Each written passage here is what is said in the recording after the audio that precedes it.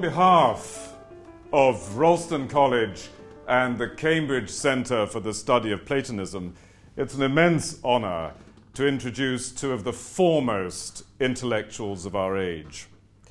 These thinkers, one a philosopher, the other a psychologist, are spiritual writers addressing the malaise of the soul in our culture. John Stuart Mill, in his magnificent essay on Coleridge, wrote of Bentham, Jeremy Bentham, who above all others men have been led to ask themselves in regard to any ancient or received opinion, is it true? And by Coleridge, what is the meaning? With Coleridge, in contrast to the utility of Bentham, the very fact that any doctrine had been believed by thoughtful men and received by whole nations and generations of mankind was part of the problem to be solved, was one of the phenomena to be accounted for. This, I think, is true of both Roger Scruton and Jordan Peterson. And I'd like to mention just a couple of points of convergence. One is an insistence on the importance of imagination as conversion to truth in opposition to a mere fantasy, and an opposition to idolatry, uh, ideology, as well as idolatry, especially right. the idolatrous ideology of the postmodern Foucault derived consensus, and an urgent return to questions about truth, beauty, and goodness. And of course, part of this is linked to what both perceive as the perilous position of the modern university. They both argue that continuity of esteem needs to be regained in the humanities, and that the dominant strands of the humanities are leading to an impoverishment of the souls of students. Narratives, both argue, are not just stories of power, but these narratives persist because of their truth. So, the importance for both Ralston College and indeed for the Cambridge Centre for the Study of Platonism of both of these thinkers is their insistence upon the relationship between mythos and logos, between story and reason, the insistence upon a hierarchy of values, and their vision of education as conversion to truth. This conversation will be moderated by the president of Ralston College, Stephen Blackwood. Thank you, Jack.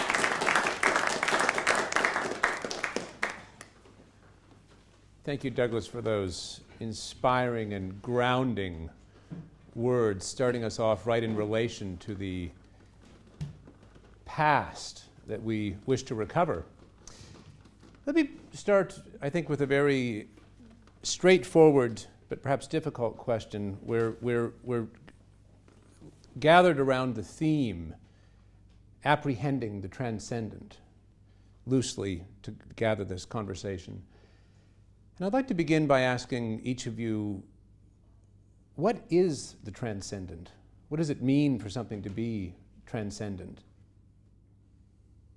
Well, if you let me start, uh, I, I take a position which I attribute also to Kant, that um, that we have a very clear negative understanding of it. We, we, as it were, advance to the edge of our thinking in so many areas, knowing that although there's nothing further that we can say, that somehow the truth has not, nevertheless, not run out.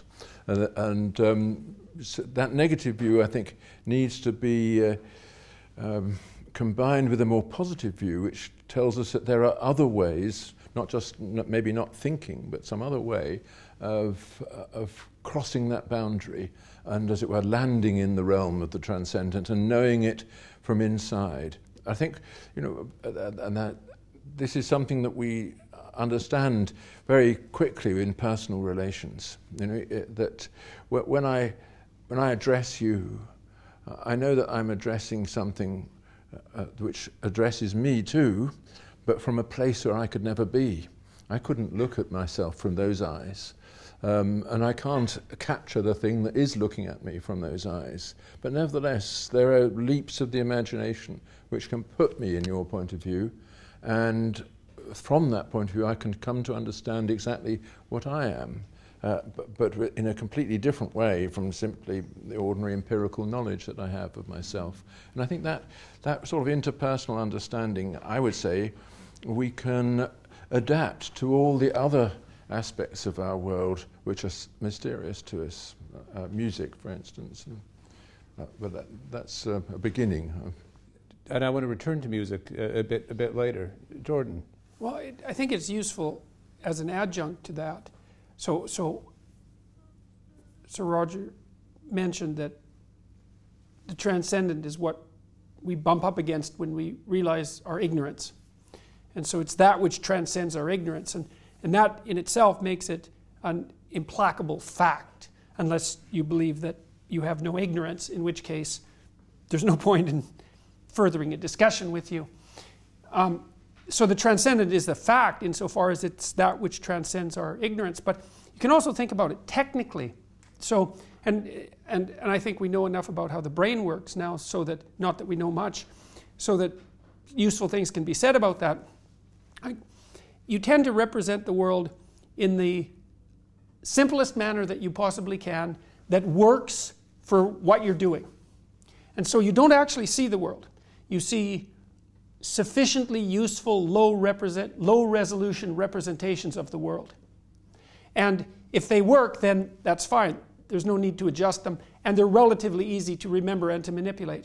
But now and then you have a misapprehension about someone, let's say, and you have a conversation with them, and the conversation goes sideways. And what that means is that the, the thing that you thought you were conversing with is not the thing that you're conversing with, and that manifests itself in error right? So error is the place where the transcendent reveals itself. And what is actually revealing itself is the reality that's outside and underneath your perceptions. And so what you see in the world, in some sense, is a set of animated cartoons. And a lot of that is actually a consequence of you seeing nothing but your memory. Because your brain is organized so that instead of going through all of the difficulty of having to look at the thing in, in itself, you look at what you assume to be there. And if you can get away with that, so much the better. But the thing in itself is always much richer, richer than your apprehension of it, which is partly why you make mistakes, but also partly why you can continue to garner wisdom in the world. There's always more there than meets the eye. And God only knows how much more there's there than meets the eye. And you can show this even in the religious sense to some degree, because you could say that there's an element to the transcendent that instills people with a sense of religious significance. You can do that by immediately, scientifically, by feeding people chemicals, for example, that disrupt the inhibition of perception by memory. And then that puts them in a place where the transcendent tends to reveal itself, sometimes in overwhelming force. So this it's not some fiction that this exists. It's the, what's transcendent is more real than the reality that you perceive. Well, let's pick, let's pick up on that because the, the, the ancients and the medievals had a clear sense that it wasn't the world that was changing, it was we ourselves as we make an ascent towards uh, deeper truths, higher forms of the beautiful, uh, as we ourselves become more self conscious. So it's not the world that's changing, uh, but, but us. I wonder if you could say uh, how you understand the nature of that ascent, that, that, that, that, that movement, and, and what brings it about?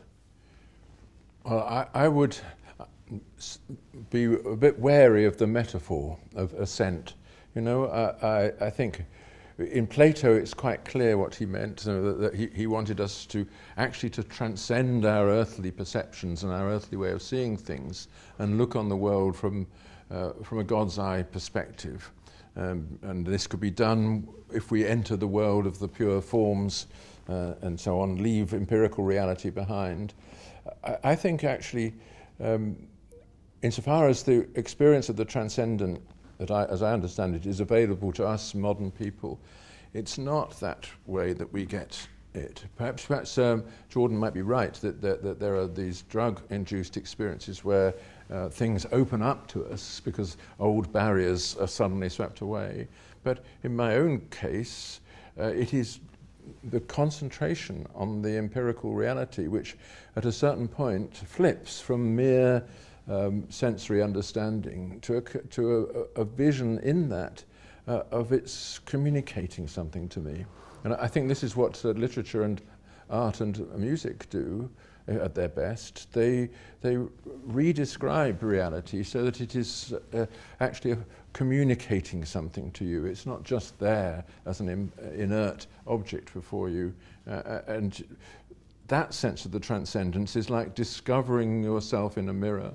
Um, seeing in the world as a whole that thing in you that you could never identify in words you know, the, the subject which is looking at it. Um, uh, and it's not a myst- mystery, but it's something that you can't then explain. And it's the difference between a good writer and a bad writer, of course, is that a good writer will describe something in such a way that the thing described has the soul of the reader in it.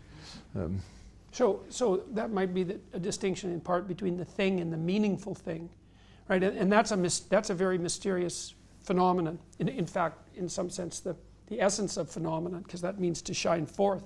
Know, as we're surrounded by empirical facts, they're everywhere.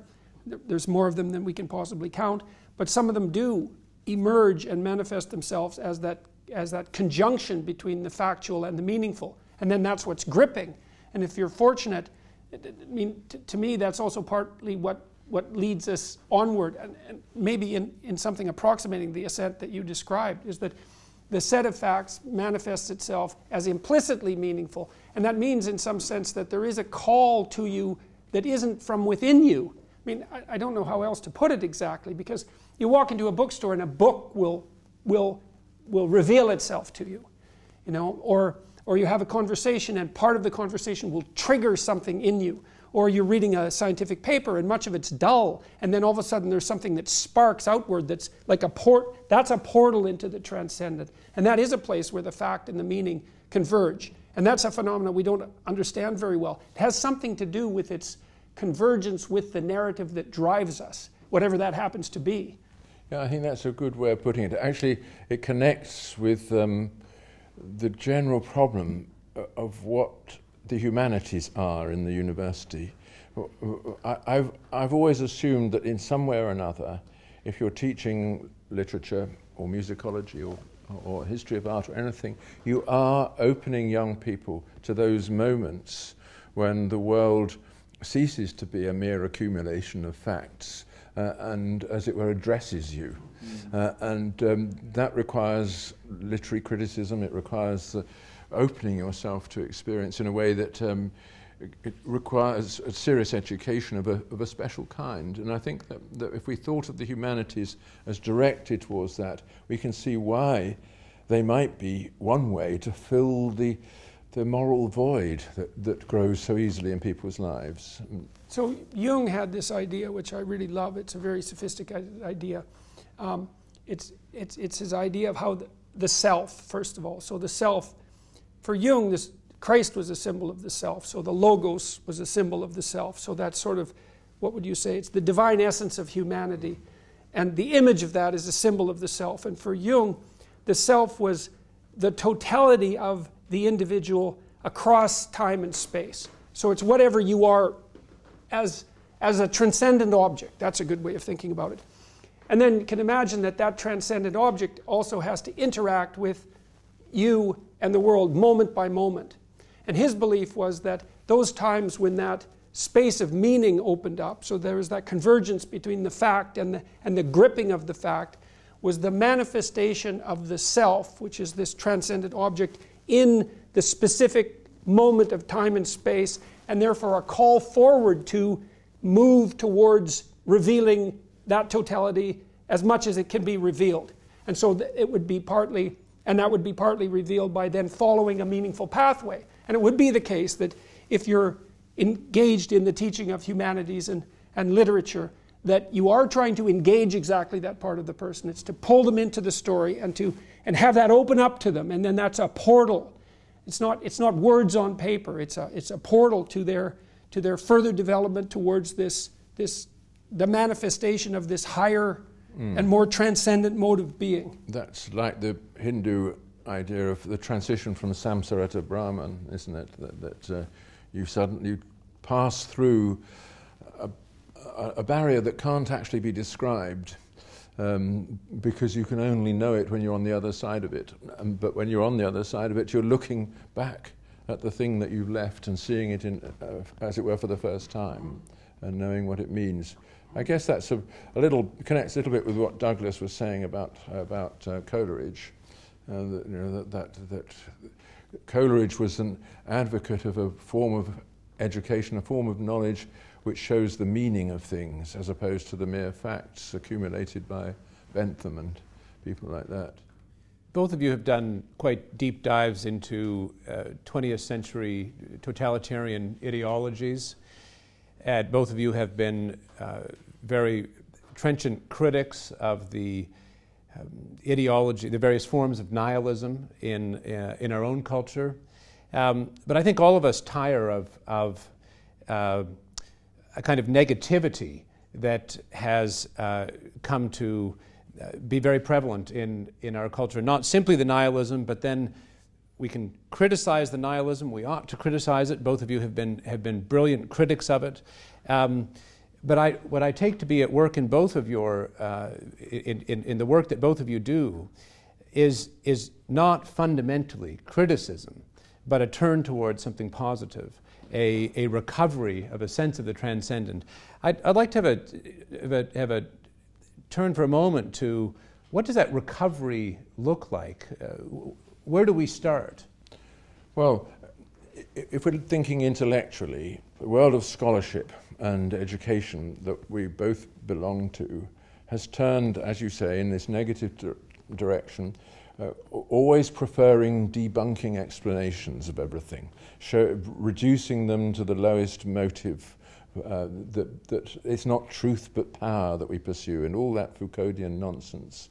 Uh, and I think the only response to that is to come up with bunking explanations, so to speak. um, try, try, to put back into the subject matter uh, one's own inherent belief in it, and to recognize that, uh, you know, that we're, we're not around on this earth for very long.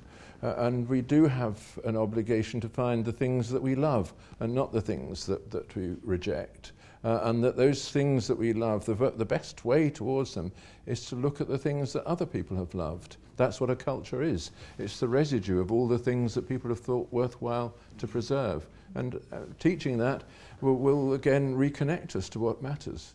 Mm. Well, and, and, there's, there's also ways of, of, of providing a pathway forward by making the Foucaultian arguments, let's say, about power more high resolution.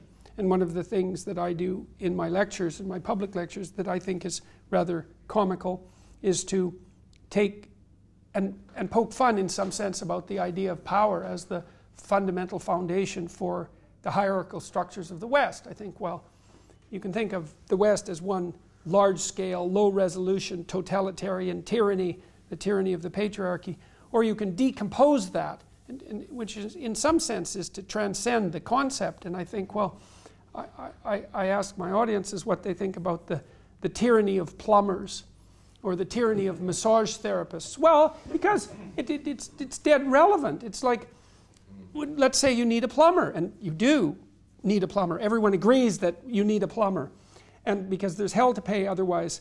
And so, and then the question is, well, how is it that you go about selecting a plumber? And the answer isn't that there are roving bands of tyrannical plumbers that go door to door telling housewives that if they don't uh, use their services, the service of the most tyrannical plumber, that there'll be mafia like consequences. What, what happens instead is that you look for the plumber who is most able, in your estimation and in, the, in, the, uh, in his reputation as distributed through the community, for being able to fix pipes and run a business and engage in an honest transaction with you. And that's competence. That's not power. You see, and what I see as most corrosive about the postmodern types, especially those who've derived themselves from Foucault, let's say, is that the idea that every hierarchy, or the hierarchy as such, is predicated on power is actually an assault on the idea of competence itself. And that, in turn, is an assault on the idea that there are real problems that can actually be solved. Well, then, if you dispense with all that, and it's only power, there's no real problems to be solved, and there's no noble ways of solving them. Even, even, as in, even in as concrete a manner as a good plumber would solve them, which is a not, not a trivial thing. And so then you deprive people of you deprive people of that of that sense of purpose in their life, even even at the high resolution levels. You know, and I've insisted in my lectures that, you know, if you're the sort of person who runs a small diner, that it's incumbent on you to run the highest quality small diner that you possibly can. Because what you're doing there is not merely providing people with basic nutrition, there's way more to the space than meets the eye. And your noble, what would you say, acceptance of your limited responsibility is also simultaneously a way to transcend that. And that can be a place where the neighborhood meets. That can be a place where tired people revivify themselves before they go off to do their difficult work. That can be a place where you can mentor your employees and help them develop their life. Like it's a rich, it's an unbelievably rich microcosm. And to take on the, the care and, and tending of that microcosm as a responsibility is also a great pathway to meaning and a necessary, and meaning is something that's, well, not epiphenomenal and not dispensable, but absolutely central to, to human thriving in, in the psychological and practical sense. Yeah, but we do have to try and understand why it is that there is such a charm in the Foucauldian position? Why is it that people want to believe that all the best things, what we think of the best things in human relations, are simply disguised forms of manipulation? You know, that, uh, that the whole feminist view of the relation between men and women, for instance, which uh, is founded on this deep myth that men are exercising exercise power as uh, a gender, to use the fashionable world, the word over, over women, and that all study of this uh, is just a, a, way of revealing the, that power and the, uh, and the capillaries through which it, it, it, flows. You know, I think there's a, a will to believe this. Uh, and why is, is one of the big questions that I think we, try, we have to try to understand. Is it that when people uh, lose some kind of transcendental religious faith, that they are automatically fall into this great pit of, of resentment as, of the Nietzschean kind, to try and find uh, the, the oppressor in every relationship? Or, or is there, are, are, there truths that they're exploring as well? Is there, are there forms of power or forms of human relation that look like power from one aspect, but are perhaps also look like tenderness and dependence from another aspect, and that they've just are emphasizing one half of it or something like that. I think there are, there are real questions as to how it is that our culture has got into this position. Mm, that, yeah, well, that's the question below the claim of power. And so, I mean, I've, I've thought about that to some degree, and, and here's three possibilities. I mean, one is the accusation that all there is is power is the justification for use of power. Of course. So that's, that's handy mm. if that's what yeah. you want to use. Mm. So then then there's another problem, and that goes along with the, the failure, the willful failure to distinguish competence from tyranny and power, let's say, because we might think of power as unearned authority, something like that, because we need a definition of power. And I think that there's a resentment at work there that's very, very deep. I, I think it's, it's deep in the biblical sense, which is that there is a proclivity for those who do not manifest what they could manifest in the world and thereby fail to watch the success of those who do manifest what they could manifest in the world and succeed and become embittered by that, tremendously embittered, and then to label that as power and then to attempt to destroy it because it's simpler to do that than to do the radical internal retooling that would be required to set things straight internally. I'm sure that's right. Uh, that, that, that's one explanation of why people are always tempted by the zero sum vision of re- relations. His benefit is my cost, sort of thing. Right. Um, yeah. Oh, I wanted to pick up on that the, the, the, the, the very widespread view that things are zero sum, uh, which is, of course, the, the, the language of power. Um, what's the antidote to that? What is the, how does one overturn the, uh, the ideology of power? Uh, how does one transcend that with a, a non zero sum uh, uh, truth or approach to life? Well, I, personally would say that the first thing to, to recognize is that there are positive sum games. You know, that's what the, the real theory of the market tells us that there are whole realms of human transactions where both parties gain uh, from, uh, from their shared engagement. Uh, and um, though that doesn't, won't drive away the real source of this, this difficulty, um, it has something to do with what, what Jordan was referring to. You know, that uh, people's, people's resentment at the success of others when they cannot match it or cannot easily match it. Or will not match Or will not match mm-hmm. it. Which is even yes. worse. Yes, exactly. Uh, uh, and because of the labour of, of re, uh, reconceiving your own position in such that, that you actually have to do something about it. You know, that, uh, it's, there is some, there's something lazy about the zero-sum vision, um, but uh, it's, not a, you know, it's not a vision that successful people have. You know, uh, it's, it's not a vision that they have at any level of reality. And you can actually combat that to some degree by make it high resolution again, by, by making examples. It's like, because very few people actually believe once they observe that all the relationships they've had with other people have been zero sum. Now, you might get some very disadvantaged people, and, and these people do exist, who've been taken advantage by virtually everyone they've ever encountered in their whole life. Like that does happen. But most of the time, all you have to do is remind people. It's like, well, think of someone that you loved. Even briefly, think of a friend that you've had. It's like, well, you've you successfully negotiated with that friend to do things together because otherwise it's not a friendship. And it, has to be successful negotiation, which means your friend has to be happy with what you were doing and you have to be happy. And so, and then wasn't it the case that you were both happier doing that than either of you would have been doing something else alone? And, and isn't that evidence in your own action and your life for the existence of non zero sum games? And they're dependent on successful negotiation. Is we can both have more than we would otherwise have if we can come to a consensus about what we'll both pursue. And it's very few people, when you make it personal like that and, and high resolution, again, it's very few people who are willing to pursue their ideology of zero sum of a zero sum reality so far down that they'll actually use that to characterize their most intimate relationships. Now, I would say that someone who does that by temperament is literally psychopathic because the psychopathic view of the world is absolutely that it's a zero sum game. Yes, I think that's right.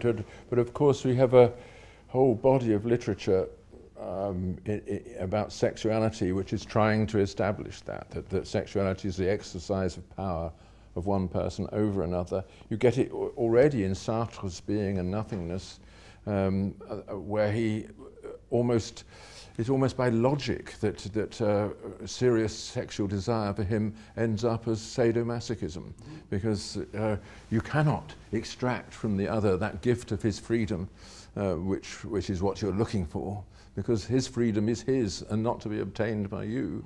Uh, and therefore, you can only do this by sort of tearing at his flesh, uh, uh, getting him to confess in the extremes of agony that he can't do it. You know, this kind of thing, you know, that's a very perverted vision of what sexual relations are, but you get a, th- that image used by Simone de Beauvoir and all kinds of uh, feminists to essentially to delegitimize the idea that there is such a thing as, as love for the other sex. Well, there's a, there's a, I think it also masks a more fundamental problem that's really a biological problem. Like it's a misapprehension of a genuine problem. But part of what sex does is temporarily subordinate the individual to nature and the species. And so there is a domination there. You know, and, and if, if, a, if a woman decides to have a child, then she is going to undergo a series of extraordinarily radical transformations, and she's also going to end up in a situation where, in all likelihood, something else becomes fundamentally more important than her. And there, so there is a there's a sub it might be voluntary subjugation, but there's a subjugation to nature. And, and that's built into the fabric of existence. And I think it's very easy not to want to grapple with that because it's such a profound problem, and then to to make that a secondary consequence of something like unbalanced power relationships between the genders. But of course, uh, uh, traditional religion offers you salves for this, the, the rite of passage, you know, which, which joins man to woman, the rite of passage which, which makes birth an experience of the whole community, and death likewise. Uh, and um, you know, the, the sense also uh, that in these great events, one is occupying a position in the in a moral space that has been occupied by generations before one, and so on. This normalizing of these huge transitions, I think, is something that that we've always depended upon religion to provide. It's the sacralizing of. Yes, and having taken that away or, or ignored it or, or tried to live without, uh, exactly without the idea of a sacrament, uh, and uh, we're actually at a loss when these great transitions occur. Well, and it, it, it is because it is the case, in fact, that to, to engage in the integration of sexuality with your individual life is a series of sacrifices. So, for example, if you get married, that's a sacrifice because it's a sacrifice of all other people.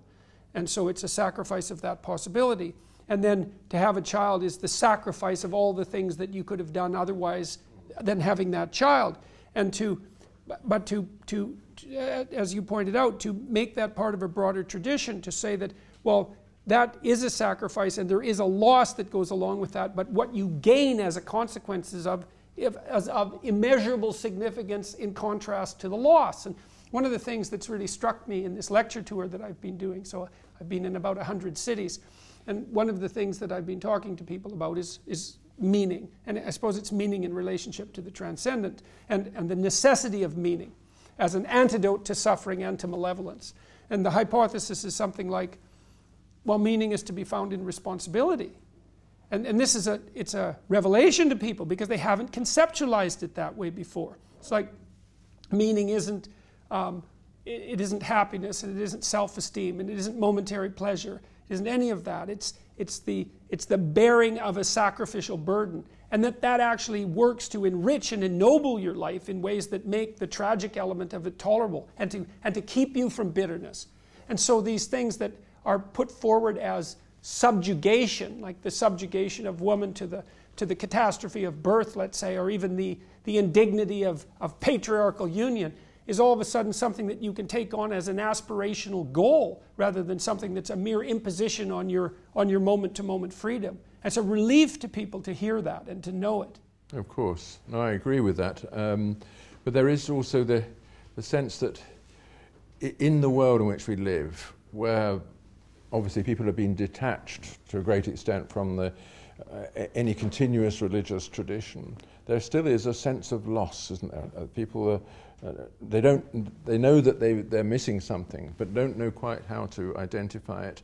And that's one reason for thinking for them thinking that it, it's been taken away something's been stolen from them and they look around at the people who are at ease in the world and successful and seem to be uh, um, you know on, on good terms with themselves and think of them as the ones who've done the stealing uh, and uh, that is a dangerous attitude and I think it's well it's surely that is part of what erupts in all these uh, uh, strange academic disciplines like gender studies, which simply have as their goal the undermining of the existing order without anything positive to put in its place. And uh, I don't know what th- those those academic studies recruit people all the time uh, from this fund of uh, of uh, of isolation, this fund Mhm. of, of, of Of this sense, the sense of, of loss without an ability to identify the thing that's been lost.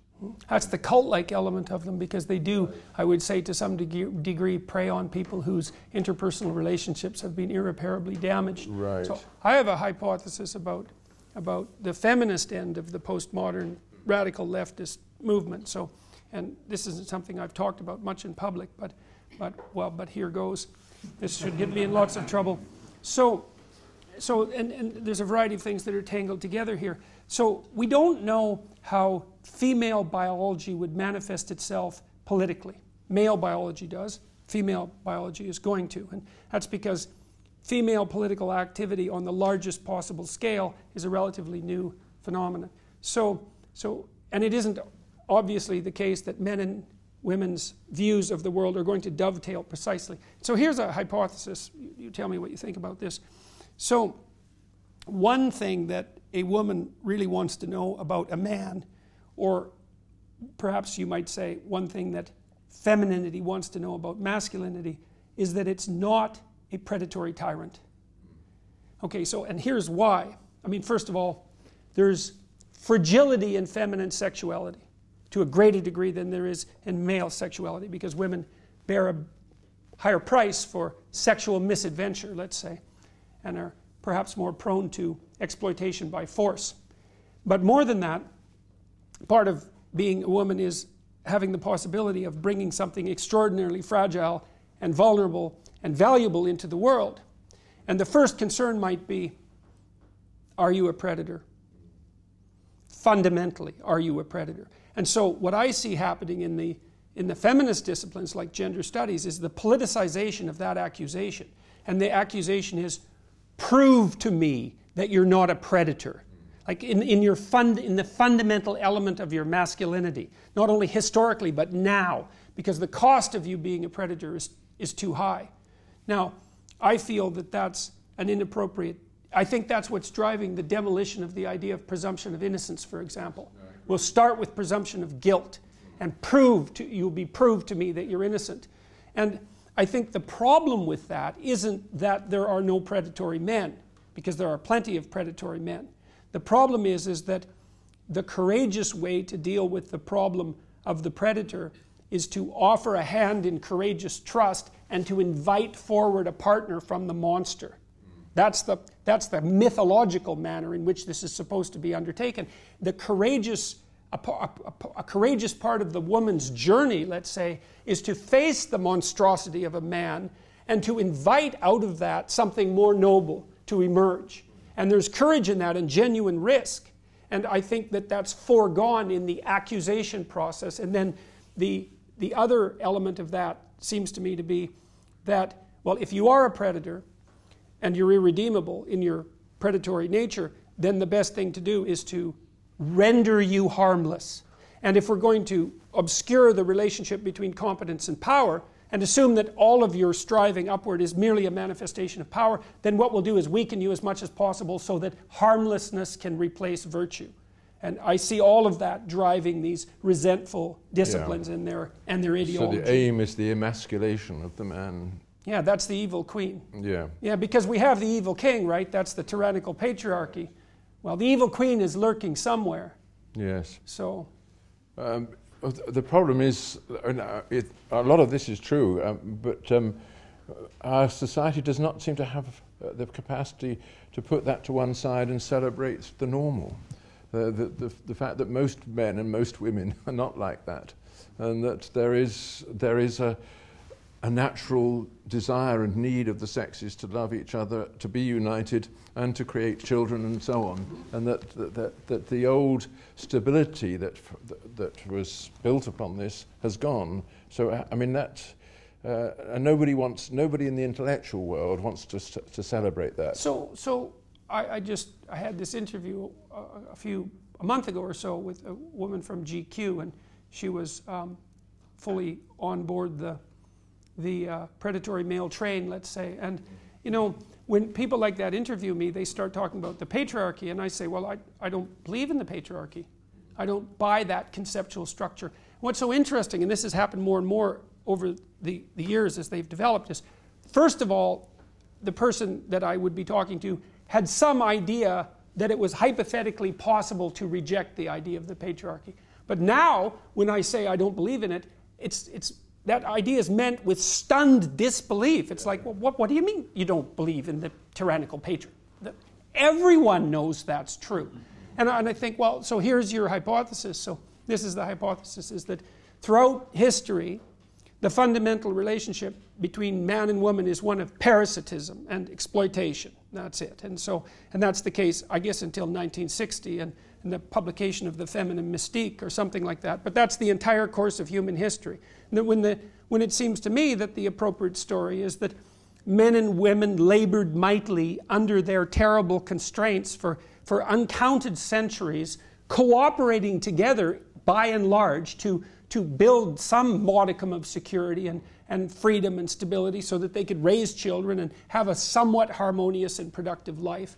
And all of a sudden, it's become not only questionable to put forth that as a proposition, but somehow tyrannical in, in, in essence just for positing it as a reality. But that's partly because, isn't it, because of this peculiar view that, uh, that underlying all this, there's a kind of social structure that, that this is being created. The distinction between men and women doesn't have its basis in nature. Its, its basis is in the institutions that we have created, and since we created them, we can change them. That uh, there is, that there's been a sort of uh, a kind of almost hysterical invasion of everything by the idea of human choice. That, that if, if there is, if there is a, a structure to the relation between men and women, then we ought to be able to change it. The, uh, and of course, change, it might mean that I have to change my sex in order to, to conform to the way things are, but that also has become a choice. Well, and is, is, is, is not the very, uh, very uh, constant focus on division, whether between man and woman, or between left and right, or, bet- or between uh, this race and that race, or any other way in which we might, uh, we might divide people according to groups, isn't that very polarized, fracture, uh, that fractured polarization uh, a sign of a loss of a common human culture, of a, of a, of a, of a, of a, universal plane in which we all we all are as, as, as human beings. And, and so if, if, if, if, that, that's, if, that's, if that is so, I suppose what I take to be so very urgent in our time, uh, and, and I wonder, it might be difficult to find anyone who, at least when you go down to a cl- high enough level of resolution, as you say, Jordan, would not think this is true. That we must recover that sense of ourselves as entities that participate in a universal and transcendent plane, that we have a common culture, that I see myself in the other, as you uh, were saying earlier, Roger. And I'd like to have both of your thoughts on what s- strategies or means for that recovery. Uh, and perhaps we can focus particularly on the, the, uh, the, the, the, questions that we started with, with uh, art, music, uh, you've written extensively on architecture, of course, uh, uh, Roger, and you've thought long and hard about the humanities, Jordan.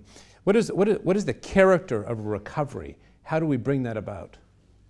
Well, um, if I may begin, I think that uh, there are, well, first of all, you have to identify those aspects of the human condition that move of their own accord towards reconciliation you know, uh, rather than conflict and, uh, uh, and division of the sort that you were referring to. Uh, and we are very familiar with them. It's not just that, uh, just love, which of course is something which is a very complex thing and can't be, can't be just conjured from the skies, but there are, there are other aspects of our condition that we can educate through uh, uh, first, first of all through studying examples and then through imitation and then through uh, uh, self-discipline. Obviously forgiveness is one of these things um, and the habit of putting yourself in another person's perspective, mm. looking at yourself from outside uh, and wondering whether you know you are as so seen acceptable to yourself all those, uh, you know, of course, again, uh, religion, uh, the Christian religion at least, uh, was um, built upon that kind of intellectual discipline, the, the discipline of seeing uh, your neighbor as yourself and um, seeing yourself, therefore, as a mere neighbor. Uh, and um, I, I, I suspect that you have, we have to revive those basic moral disciplines, not for, for the use of people who don't have the overarching faith, the, the belief in the transcendental judgment to which we will be all called, but who nevertheless have to be shown that we do live our lives as an object of judgment nevertheless. And um, here are some guides. L- you know, just read Anna Karenina, for, for example. Um, I know it takes a long time for Facebook addicted youth to read Anna, Anna Karenina, but there's still hope, you know. And, and they're likely to listen to it if it becomes an audiobook. So, so um, well, because maybe more people can listen than can read. I mean, uh, um, so so let's let's think about literature for, for, for a bit. And so now, if you read something like a Dostoevsky novel or Anna Karenina, you're not really reading the account of a single person's life. What you're reading is, it, it's like the author has taken a variety of lives and amalgamated them and unified them into something that's like a, it's like a compilation of lives. So it's, life, it's like life writ large. So that's what fiction is. It's more true than, than reality. Because just like a mathematical abstraction can be more real than the thing that it represents in some sense, the fiction is, it's like a, it's like a portrait. If, if you sit for a portrait, you'll sit and the artist will paint you, and then you'll sit again, and then you'll sit again, and then you'll sit again. And so the portrait is actually a composite of you. And so it's got a richness sometimes that a photograph can't match. And a fictional character is actually a composite of many people.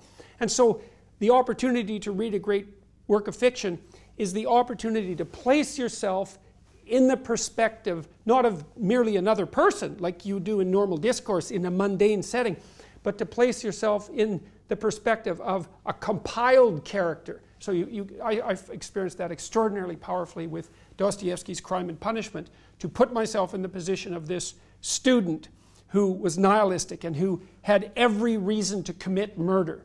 And it's an unbelievably intense novel because everybody in the novel is hyper real. And we think of fiction as falsity or, or, or, or as, as untruth, and it's not. It's, it's, it's abstraction. And abstraction isn't untruth, it's, it's more than truth often. And so the humanities can help us walk through the souls of others. And because we can imitate, and it's one of our primary remarkable, miraculous abilities, we can imitate the, the, the, compiled characters that we encounter in literature and mythology and religion. And that does help flesh us out and ennoble us. And we can, we can I just wrote the foreword to Solzhenitsyn's 50th anniversary version of, of the Gulag Archipelago, the abridged version, and I ran across his fervent wish that people could learn from what he communicated, all the horror and suffering, to put themselves in the position of both the perpetrator and the, and the accused simultaneously, and to decide that that's not the road to walk down. And so the advantage of placing yourself in the position of other people is that if they're good people, then you can be like them, and if they're not good people, then you can avoid that pathway. And then you don't have to learn that through, through the agony of direct personal experience in the short span of your life. There's nothing more, there's nothing greater than you can do for people than to introduce them into those patterned stories so that they can gain from the catastrophes of the past. Mm. No, I agree with that. But of course, uh, in fiction, one's also concerned to identify, if you're writing fiction, identify with a character uh, in order to understand that character, because uh, it's not as though uh, uh, you can you can't actually grasp a character from the outside. You have to be able to see through his eyes what it, what the world is in which he is, and that is, I think, an exercise of the imagination which I value greatly. Uh, and um, you don't necessarily come to a conclusion that therefore I don't want to be like that. Uh, it might be just enough to say, now I see that, that, that that's a possible human being. Um, and your knowledge of the possibilities is amplified, uh, and your sense, uh, your ability to position yourself in those possibilities also, I think. Right, so that's a matter of differentiation as well as direction. Yes. Now, and I, I think sometimes in my more dire moments that this opposition to cultural appropriation, right? So the idea that I'm not allowed anymore to imagine myself, say, fictionally as a woman or as, or as a character from another ethnicity, or even to play the role, that role as, a, as an actor. I think that it's, it's part of the assault on the idea of the individual and the non zero sum game because it precludes the possibility that I can take on the role of another in an understanding manner and actually facilitate a dialogue. And that undermines the claim, I would say, that everything is only a secondary consequence of power. Because if I can actually bridge that gap, well then I'm not isolated in my group or my ethnicity or whatever it is. I can I can become partly you and we can communicate. And I would say because of that, literature and art is a great threat to ideology, especially of the group identity kind. And of course, they're perfectly aware of that, which is why the radicals on that side of the equation are doing everything they can to to. Um, I had a reporter from the New York Times who wrote a rather scurrilous piece about me. She had done a literature degree at at um, Columbia a bright woman. And she told me, in all honesty and in apparent transparency, that she had no idea. This is how deep this, is, this has become saturated into our culture. She had no idea until she, until she had graduated from Columbia that there was any other way of reading a work of literature except through the postmodern lens. And the postmodern lens is well, who are the groups that are being represented, and what power games are at play, and who benefits? And, she, and I mean, I don't know if, because she turned out to be quite a strange person, um, but so I have no idea if that, if that was a ploy on her part or whether that was like, an, like a, a naive, um, what would you call, confession. But it's increasingly the case that that is how literature is taught. In, in, in, my home province of Ontario, the Elementary Teachers Federation of Ontario wants to start teaching literature from a postmodern critical perspective in elementary school to demolish it. Well, I, I, there we are. I mean, I'm in favour of cultural, cultural appropriation. I mean, I'm a product of it. I, I appropriated the idea of the English gentleman, and, and uh, you know, and I try and made myself be it. Uh, and um, I know it's a failure.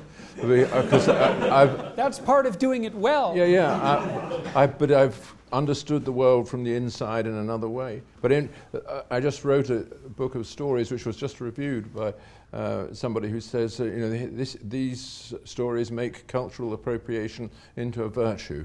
Um, so I felt good about that. But they, they begin with a, an inside view of the psyche of a, uh, of um, a terrorist, of an, uh, an Arab terrorist who's, who has a, a legacy of vengeance and um, who is a failure uh, and whose loss I try to make real uh, in, the, in the feelings of the reader as he, as he reads it.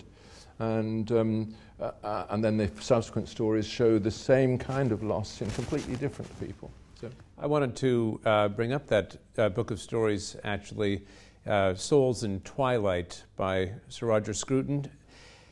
It's a series of five short stories, five, I think, is it? Five short stories, each which are, are portraits of a character at a certain moment in time I think it's safe to say, Roger, that they're all tragic stories in a sense. Um, what I found so moving about those stories is that these are individuals in states of dislocation, uh, anchorless, seeking depth, meaning, truth, stability, uh, and yet in their confusion, in their darkness, willing against that very thing that they seek, or you might say violating or transgressing that sacred thing that they're longing for. That's not what's beautiful about the book. Um, uh, what's beautiful is that in the reading, the reader, her or himself, comes to a sense of what that longing is for positively, uh, uh, a sense of the, the stability of love or of home or of relationship. And, and, and I suppose what, what I want to ask following up on this is that that seems to me a profoundly redemptive vision that you have in, that, uh, in those beautiful stories, Roger, uh, that, that it's showing the persistence of the beautiful and of the good, even in its absence, that I can read that story and have a perception of what positively I am, I am looking for. And just to, to refer to something that you say in, in uh, one of your books, Jordan, that, that even through an experience of, of evil, one can develop an apprehension of what the good is. And I'm wondering if you could each say something about the that you know either either there is a reality to these transcendent things or there is not. It's either just a construct, goodness or beauty and truth, or they have a transcendent and, and sovereign, persistent rea- reality. And I'm wondering if you can each say something about the, the persistence or sovereignty of these things, even amidst our darkness and uh, suffering? Well, I, I, would say that in tragedy, when tragedy is really effective, uh, there is a redemption offered in this through suffering. That the, the, the, the, the we, we encounter the possibility in tragedy that a human being can, through the most noble motives, also bring about on, upon, down upon himself destruction. Uh, and uh, this destruction is no different from the destruction that's going to afflict all of us in the end anyway. But here is somebody who, who has faced it down in some way. That his, his nobility of nature and his ability to go out towards others in a condition of, of love and recon- reconciliation has not been taken away from him. Mm. Uh, and the spectacle of that uh, um, is all the more intense because, nevertheless, uh, the, you know, death intervenes and takes him away, as it will uh, take you and me away, to, but without having had the chance to reveal our nobility or even to acquire it. You know, so I, I think that um, for that reason, it's very important that in literature, noble characters are seen in a condition of loss sometimes, that, that, uh, and their, their redemption comes because even though they've lost uh, what we all must in, in the end lose, there is that in them which is struggling towards reconciliation with their own condition and with others. It's the, the sense that they are living as another and not as a self. You know, that's, that's I think, it's a crucial thing that we well, see. The, the Gulag Archipelago is often viewed as an endless documentation of the horrors of the Soviet enterprise, but it was an investigation, it was an experiment in literary investigation. And that isn't what the book is about. The book is about Solzhenitsyn's observations of people in those terrible situations who did not contribute to the terror and who transcended it. And the unbelievably power, powerful impact observing that had on him and the personal transformation he underwent as a consequence of observing those people and the decision he made because of seeing them in their ultimately tragic circumstances transcend that to, to, to transform his life from the bottom up and to write this great book and to reveal the utter catastrophe of that entire ideological movement. And so you do see the light most clearly when it's superimposed against the darkest possible background. And so, and great literature, which pulls people way down into the depths, and in, in, this, in, this, in this compiled fictional manner, then it also does at the same time highlight what's, what's, what's the opposite of that. So, I in my reading of, of your, your, your, your work, both of you, there's an implicitly theological character here, and we can't speak about the transcendent in a certain sense without uh, being theological. Uh, you know, why is it that we can't just the lights just can't be completely shut out. I mean, if if if if if evil and darkness were the sovereign principles, uh, as you, as it might we say metaphysically, well, they could it could just be all the lights could just be completely blackened, and yet that's not what we see. And I'm wondering if you would each comment on the what you take to be the th- what, might be, might, what might be a theological articulation of the facts on the ground. If the facts are that you can't shut the lights right out, that they're still there, what, uh, what's going on there? I totally agree with what um, Jordan said about uh, the Gulag Archipelago. Um, and that goes back to Dostoevsky's uh, From the House of the Dead, you know, his account of uh, being in a Tsarist, uh, uh, much milder kind of imprisonment, but nevertheless, it was full of. Almost a vacation home. Yeah, yeah, in comparison. No, I agree. But nevertheless, he described these characters who, for whom uh, everything had been taken away. But he also uh, notes that in each of them, uh, you, I can find the spark of God. Uh, something which Janacek re- repeated uh, when he made this into, uh, the, into that wonderful libretto for his opera. Um, and, uh, and Janacek tried to show in music how these derelict characters will suddenly shine with that, with that light from another source that, that doesn't come just from what they are in that, those circumstances, but from something higher. And I think, um, you know, I would say one is always obliged to use metaphors when we get to this point, but it, it is true that, that you can find in someone, even in the most deprived and desolate circumstances, that on which you can blow to, to cause the spark once again to, to, to light up inside him. And that is as far as we get to meeting God. But um, there, there is no reason to think that we need to get any further, in my view. Um, it, that's what people, everybody saw in Maximilian Kolbe when he um, offered himself in, in, the, in Auschwitz for, uh, you know, to, as a sacrifice, and why he was um, uh, canonized. You know, suddenly you see that there is something else in all of us, in which in in uh, circumstances, however severe and deprived, will will shine from a, with a different light and make those circumstances worthwhile because they produced that light. And it could be, in some sense, the mercy of God that keeps him hidden from us. Because if you imagine that your sacred duty is to blow on those embers that you described, even among people who are in desolate straits, then every time you fail to take that opportunity, then you tilt things badly towards what they shouldn't be tilted towards. And it could be that the revelation of your inadequacy in the face of that moral duty, which would be in some sense equivalent to an encounter with God, would be enough to tear you into pieces. And so maybe you get glimpses of that now and then because that's, that's all you in your current depraved moral state could stand of seeing of the face of God. Yes. And I think there's something to that. that's what Simone Weil says things to that effect, I think. Yeah. And um, yes, I, I, often heard in the old communist days when I used to travel around Eastern Europe and, and meet people who are in really dire straits, they said similar things, you know, that, that, um, uh, that, that God would reveal himself, but uh, in these circumstances, the revelation would be something too strong for what I could bear.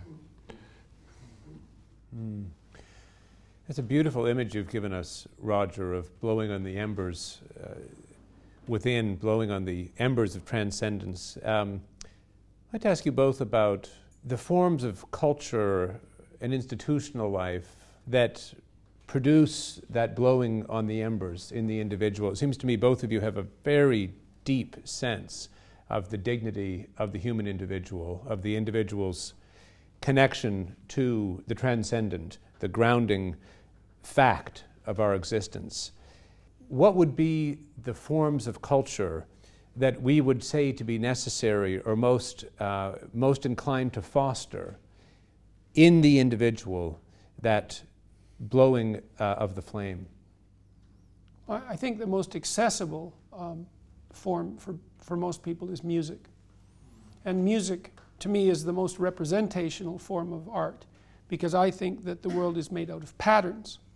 And we perceive some patterns as objects, but fundamentally it's patterns. And what you want is all the patterns of the world to interact harmoniously in, in, in something where every element is related intelligibly to every other element. And I think that when your life is in harmony, that you can feel that. And when you're dancing to beautiful music, you're acting that out. It's the music is, is, the, is the music of the spheres, and you're participating in the patterning of your being in accordance with that structure. And that gives you an intimation of, of transcendence. And, and it's, it's not criticizable. That's the thing that's so lovely about it is even as our society has become more cynical and more self-destructive and more deconstructionist, the power of music has in fact grown because it speaks to that eternal harmony and the reality of that eternal harmony in a way that, that mere intellect cannot deny. And I mean, I was always amused. I went to this show, uh, The Ramones, a punk band from New York. It was the loudest concert I'd ever heard by, by a good factor of 10. My ears rang for like three days afterwards. And there were all these like nihilistic punk rockers all crammed into this theater. And below me, there was a mosh pit. And it was like ants on a frying pan. They were just smashing into each other and throwing people around up uh, above them. And it was quite rough. And they were all having this beautifully transcendent musical experience which belied all of their nihilism. And it, it, was, and they absolutely thrived on it. It was like, and even the lyrics were harsh and nihilistic, but it didn't matter because the music, even if it's rough, even if it, in its rough form, was something that united them in the sense of this like patterned beauty and brought them together. And so exposure to music, that's people die without music. It's like music is everything. I mean, it's not everything, but I beg it's to disagree enough. about, about the beauty of this uh, particular experience. um, from, I, I think actually dancing is an extremely important uh, phenomenon, uh, partly because traditionally dancing was dancing with someone. Uh, the with has been taken out of dancing.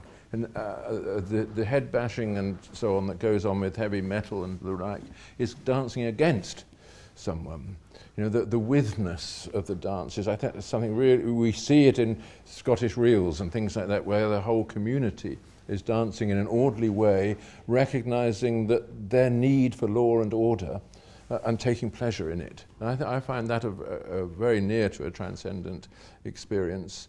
Um, I, I feel a kind of narcissism has crept into the, uh, the dance through recent forms of, of dance music, but I mean, that's my old geezer attitude. or, or, or, or, or is, or is, um, or is it simply to say that, there, that, that the principle itself is sovereign? Uh, if, if one thinks about the logic, for example, of, of, of Dante's Inferno, um, uh, which be, has ever more degraded forms of knowing and loving, um, that, uh, that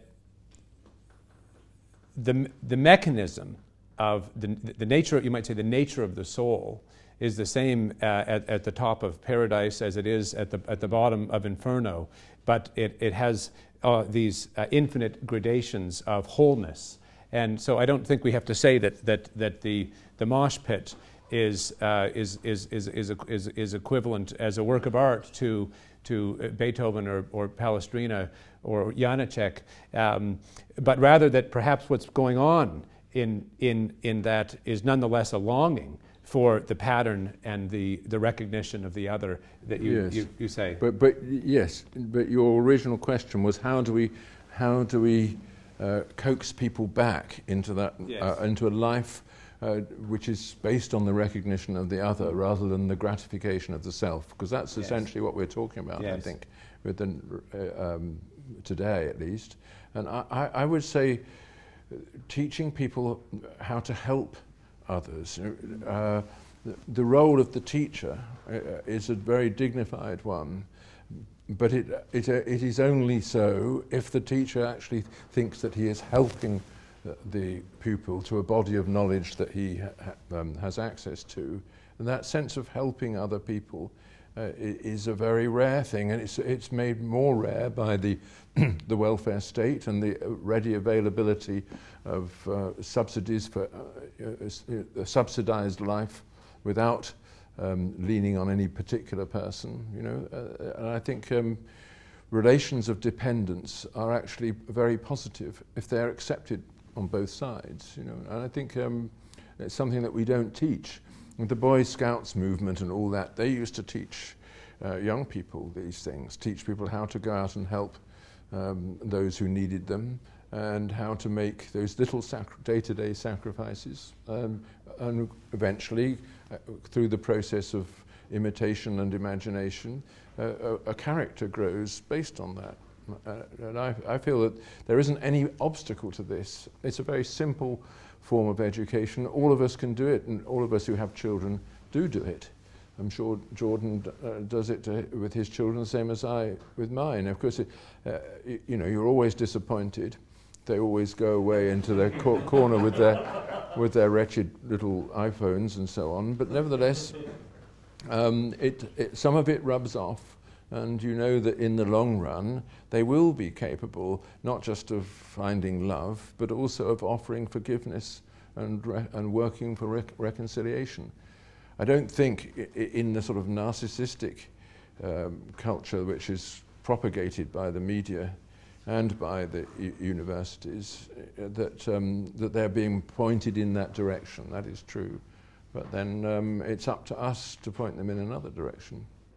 I think as an academic, we talked already about that place where the meaning and the fact are conjoined.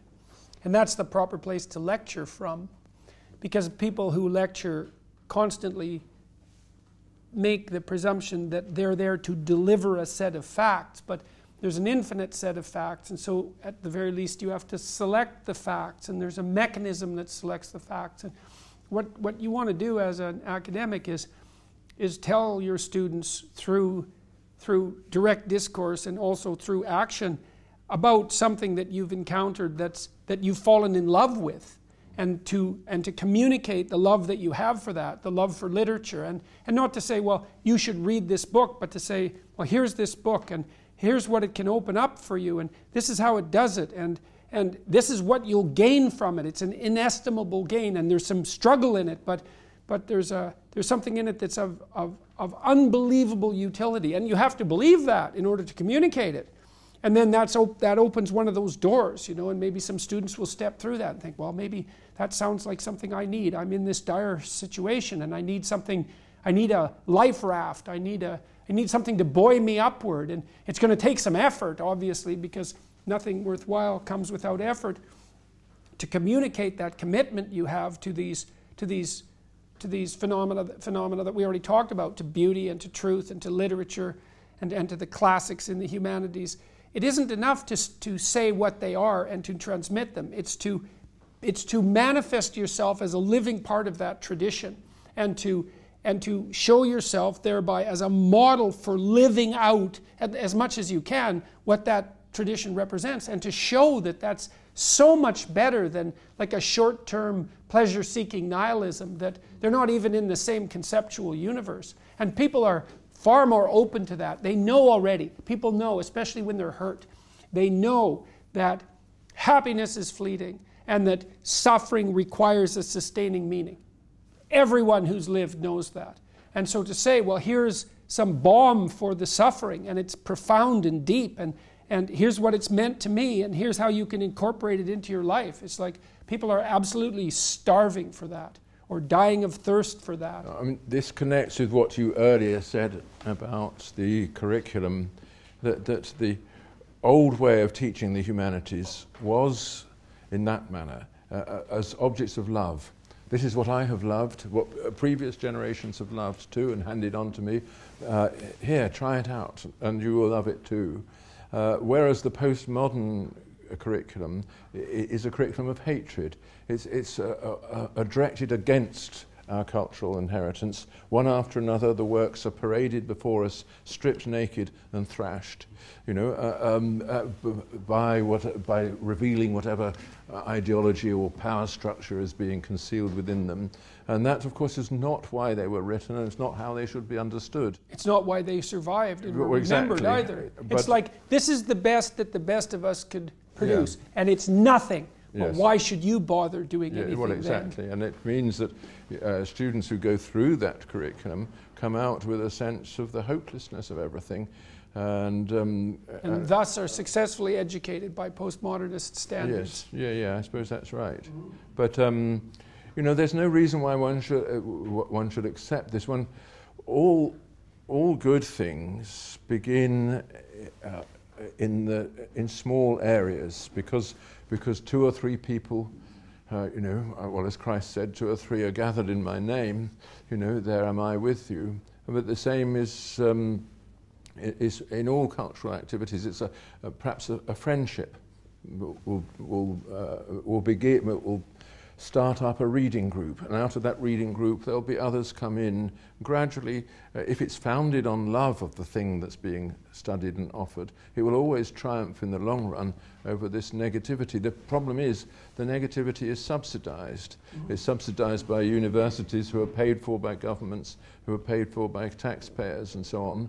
Uh, and the, the answer is to take away those subsidies and, uh, and deprive education completely of money and it will be back with us again. That's my view.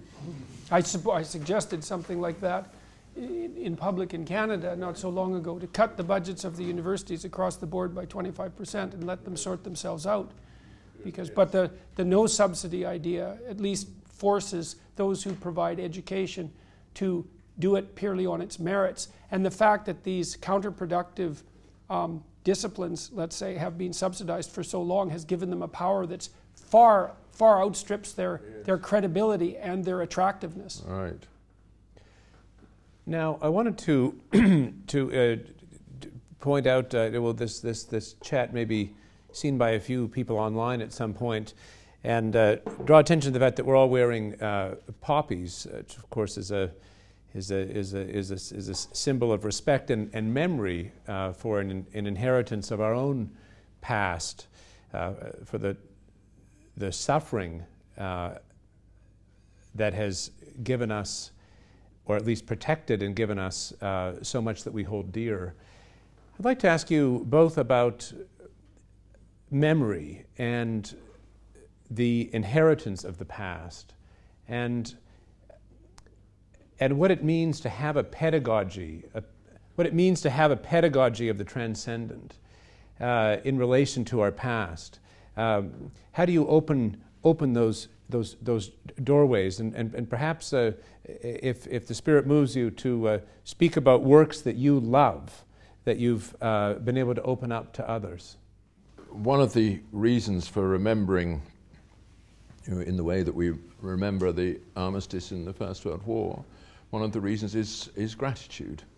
Uh, and gratitude is in short supply in our societies today, and um, it's, the, it's the, the greatest gift that we can offer, in fact, to, to people who are dead, because uh, what else can we do uh, uh, except to acknowledge what their sacrifice? So um, I think that gratitude is a fundamental part of memory. Um, there are, of course, accumulations of guilt and, uh, and so on, uh, and those are being emphasized all the time in the postmodern curriculum, all the, all the ways in which we are not entitled to our inheritance. But I think, in the face of that, we have to insist on the ways that we are entitled to that inheritance. If people have died for it for th- and for our sake, you know, that is an, a, a fantastic title that we enjoy, and we should feel grateful to them uh, for that. I mean, when it comes to you know, actual works or, uh, of art or whatever which have opened the sense of the depth of one's own inheritance, that uh, I think is um, a very interesting question. There's so many of them, but, uh, but just to mention only one, uh, um, the Bach B minor Mass. To me, that's a door into the into the uh, so the, the whole uh, the whole European inheritance going back to the crucifixion. There it, there it all is, encapsulated in music. Music, uh, you know, celebrating the universal claims of the Roman Catholic Church, but written by a Protestant. You know, that, uh, it's um, and offered as a gift, you know, to, to mankind. And there it is. And uh, such things uh, so transcend any uh, any minor historical details uh, that one recognizes that that is what the past really is for one, that great depth of, uh, of inheritance that, that can't be enumerated but just enjoyed. Just to follow up before we turn to Jordan, Roger, at the beginning you talked about a, how a great literature, a great writing is writing in which the reader finds himself, finds herself. Um, taking Bach's Mass in B minor, um, you've, you've spoken about the, this unfolding of the self that is found in these great works, or the reflection of the self.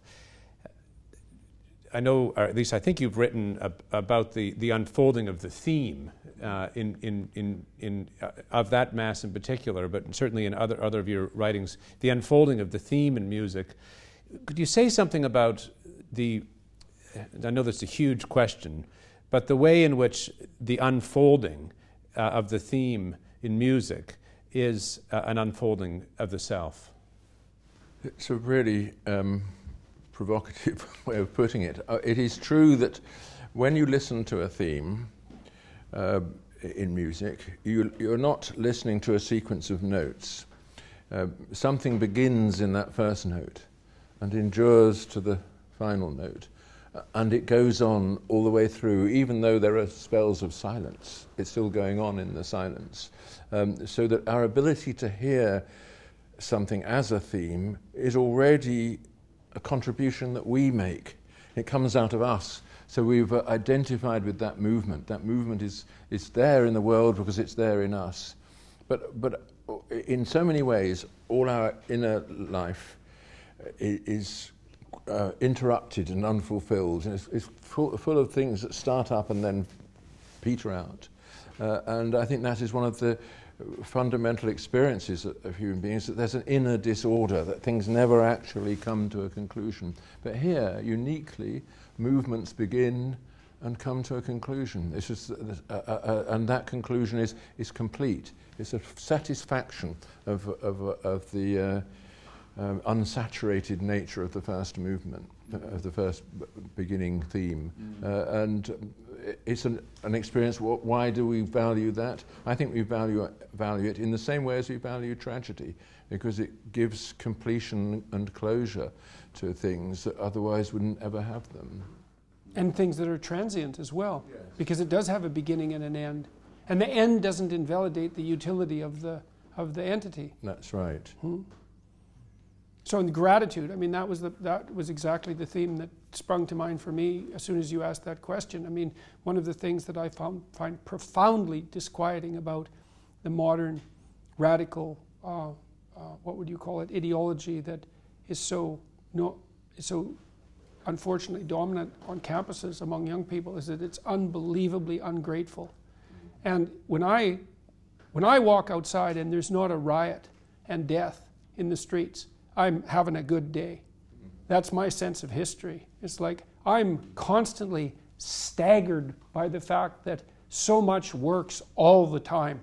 It's absolutely. I met this guy a while back, and he'd been in a motorcycle accident. He really got hurt, man. He was, he was pretty much half destroyed. And he worked as a telephone lineman. He worked with this guy who had Parkinson's disease, who had was equally destroyed in a slightly different way. And the two of them together could climb up a telephone pole and continue their job. And I thought this unbelievable infrastructure we have that is just an absolute bloody ongoing, ongoing miracle is sustained by people exactly like that. You know, they're having very difficult lives. In a country like Canada, they go out in the middle of the bloody winter where you die. It's frigid.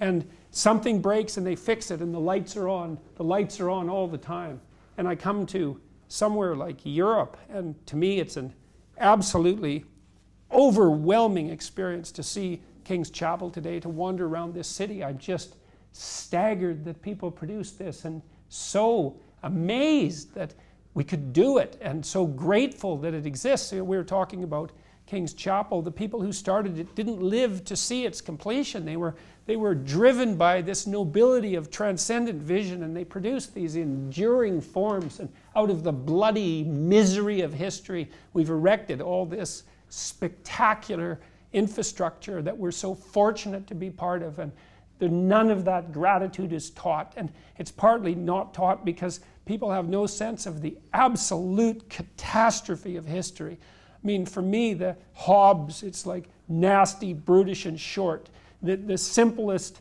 and most likely social circumstances, catastrophe punctuated by hell. And to see that not happening in a sustained manner constantly, and to see things improving around us, and, and to be reliable in that manner, and then not to be grateful for that. It's like it's an unbelievable combination of ignorance and wilf, ignorance, ingratitude, and willful blindness. And it does no one's soul any good. It's so good to walk down the streets of a beautiful town like this and to be open mouthed in non ironic amazement at what's here. And so, and to not instill that sense in young people to, for them to understand that they are standing on the bones of generations of people who suffered to make this possible, despite all their errors, and have brought this forward. It's like. Yeah, well, Hobbes is a very uh, salutary lesson, actually, because he did look into the abyss and stepped back from it and reported on it. Uh, and, that, uh, and, we, and as did Solzhenitsyn. And um, we, uh, post war baby boomers, haven't had that experience. I, I, had a little glimpse of it in the old communist days, but we only saw the edge of it then. You know, um, but uh, uh, still, the, sen- the sense that it is there, always beneath your feet, and, and that the crust is, is as thin as it, it can be in certain places. That, I think, is something that, that young people do need to be taught without making them get gloomy about it, uh, but to, to recognize that they're, they're lucky. A, uh, a, last question before we open up for a few questions here. It seems to me that the, the backward looking that we've talked about, you had a wonderful phrase, uh, uh, wide eyed, open mouthed, uh, non ironic uh, amazement, I think. You said walking around this transcendently beautiful town of Cambridge, which houses this august and ancient and beautiful institution. Um, we, you mentioned, Jordan, as we were seeing the King's Chapel earlier today, that those who started the work knew they wouldn't be those who would finish, and those who finished knew they had inherited a work that they had not themselves begun. And so I suppose I want to ask um, we've talked about the, the, the, necessity to turn back with gratitude to the past, to our inherited uh, past. But I want to talk also about the possibility of, of building and of creation. Uh, these chapels and buildings were built at some time. You yourself are a, com- are a composer, both of you uh, authors of books that many, many people have uh, found depth and truth in. So I want to, uh, to ask about uh, the possibilities for, for, for renaissance, for rebuilding or, or building anew, uh, new buildings, new uh, forms of community, new forms of art, perhaps new buildings of old forms of architecture, new colleges and universities, uh, new, uh, more healthy and beautiful forms of, of courtship, new forms of uh, flourishing arts and music. Uh, it, it, seems to me so important that, that we not lose sight of the fact that precisely the abiding truth of the transcendent in us gives us hope to, to answer that call. Yeah, it must be the case that when, when uh, describing our cultural inheritance, we are not just describing something that's gone. Uh, we must be describing something of which we are still a part uh, and which, we, which has to change as we are changing to accommodate us.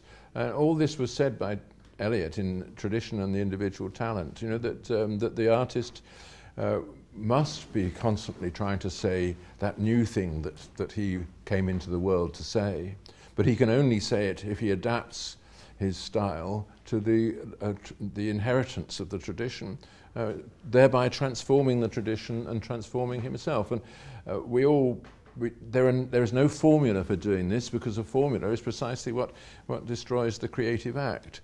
Um, but w- we have to assume that new things will come, and they will come through, uh, as, as they always did in the past, through fasting and prayer. You know, um, and an occasional glass of wine, in my case. um, Jordan. Well, we could concentrate, I suppose, on building the future instead of criticizing the past. Mm. I mean, it's necessary to decompose to reconstruct. You know, those those acts can't be separated, but the decomposition is the prerequisite for the reconstruction. And you know, what I've been recommending to people is that they they start on whatever scale they can start on with whatever's in front of them because they have more in front of them than they think. These these, these, these circumscribed areas, that these small places that people can call their own, even if it's only their room. You can start to do something creative and beautiful there. I mean, I've suggested to people that they start by putting their room in order. And that, that implies a purpose. It's like, well, your room is somewhere that you exist. It's, it's, it's a place that surrounds you, that tells you how to be. Is put it in order so at least it isn't screaming chaos at you in a soul destroying manner make it pristine and, and, and, and orderly in, in a fashion that suits what you're aiming at. So have an aim. And then, this is perhaps a chapter in my next book. Well, maybe you start by putting your room in order and then you make it beautiful. And then you learn how to make something beautiful. And to make something beautiful is to make it worthwhile and to participate in that transcendence. In, in that transcendence, maybe you need one. Certainly, and for your future self, which is also others. You know, this idea that people are fed even of, of, of, of self gratification, let's say, as an antidote to nihilism. Well, take your pleasure in the moment. It doesn't even work for you because you're stuck with you tomorrow and you next week. And so, even to treat yourself properly is to treat yourself as part of an ongoing community. But I would say start by, you start in the world if you have some wisdom and some humility by taking the potential that lies dormant in front of you and interacting with it in the logos like manner with truth and with love and by transforming that potential into whatever you can create out of it that's good. And, and even if it's, a, it won't be small if you do that. You can transform your whole household by transforming your room. You can transform your whole neighborhood by transforming your house. Like these things spread very, very rapidly. And that is right there in front of you, you know, and people think they're impoverished now, that they don't have any opportunity. And, and the opportunity is hidden from them by their, by, their, by their unwillingness to take the steps that are necessary to put what they could put in front of them in order and, and, and, to, and to produce the beauty instead of the ugliness where they could do that. And I don't think there is anything more powerful than that. That works. I've had thousands of people tell me that it works, you know, personally, and come and talk to me every day now on the street and say, My life was in terrible disorder. I had no vision. I wasn't abiding by the truth. My relationships were fragmented. I've decided to make something of myself, whatever that might be. I've decided to adopt more responsibility and to tell the truth, and things are incomparably better. And so that's, that's there for everyone to take, and regardless of your circumstances. And I know that some people have what appear to be larger opportunities and more privilege in front of them, but that also makes their commensurate moral responsibility larger. So there's a certain balancing that's a natural consequence of that. So. Now, recognizing the nature of the finite, uh, there's a train one of us needs to catch. We're going to have to draw this conversation to a close, but not before we've all had a chance to thank both of you for everything you do to fan the flames of the transcendent for your readers, for your listeners, for all of us. Thank you very much, both of you.